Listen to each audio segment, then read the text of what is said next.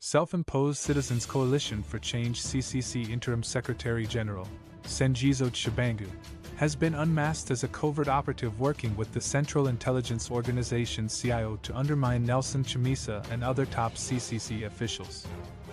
Tshabangu collaborated with retired Brigadier General Walter Tapfumaneyi, Deputy Director General of the CIO and leader of the Forever Associates Zimbabwe FAZ, an organization implicated in helping ZANU PF rig the August 23, 2023 general election.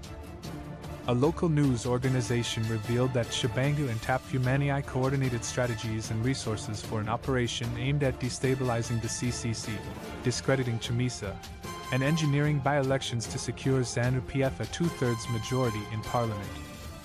Tshabangu received logistical and financial support from the CIO through FAZ, with reports suggesting that at least 1 million US dollars was allocated for his expenses and luxury stays in Harare.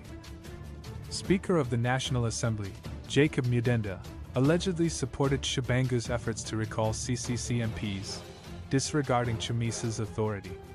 When Tshabangu's steering committee, responsible for organizing the recalls, attempted to remove him, Mudenda refused to intervene, asserting that he would not meddle in CCC's internal politics.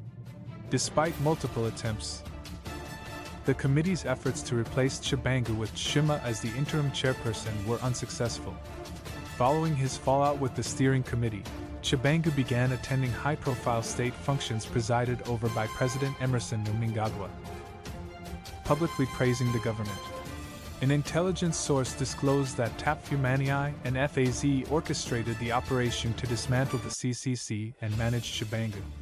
When misunderstandings arose, the CIO briefly cut ties with Tshabangu, prompting him to seek assistance from ZANU PF members and CIO operatives to resolve the issues.